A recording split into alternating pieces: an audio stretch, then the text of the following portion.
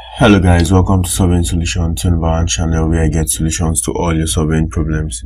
It's nice having you in class again today. How have you been?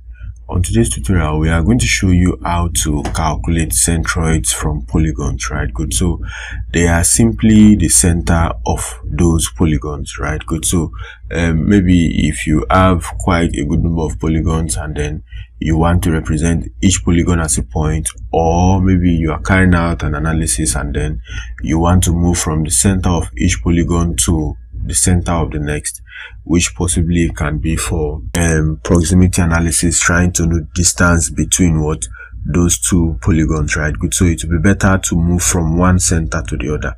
Or maybe if you also want to maybe place your labels and then you want it to be at center. So there are some these are some of the right? Good. So these are some of the practical reasons why you might need to um, convert your polygons or represent your polygons as points or show the centroids of your polygons.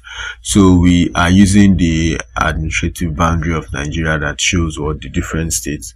So we are now going to come to vector and then under vector we come to geometry tools and then we can find what the centroids there right?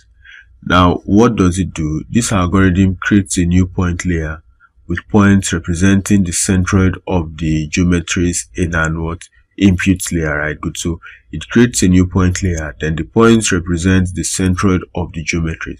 So in this case our geometries are what? The polygons right? Good. In our input layer right? Good. So we just have one and then uh, this will be what? The centroid layer. So let's see if we can just um, save to file good. So we are working on a folder called um, centroids in um, QGIS so let's call this um, okay so let's call this ng underscore centroids right? Good. So you can see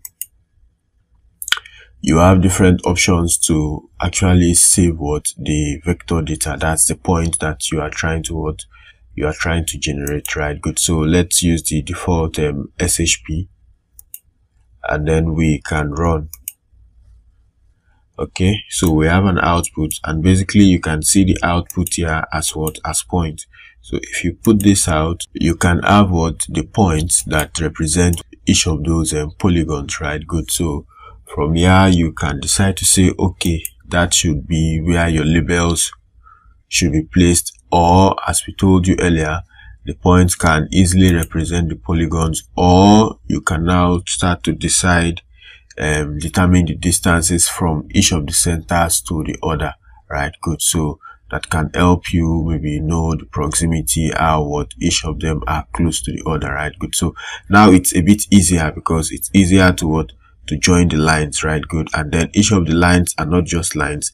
They are actually polygons that were turned to lines. So you can now get their distances and perhaps maybe bearings or whatever the case is.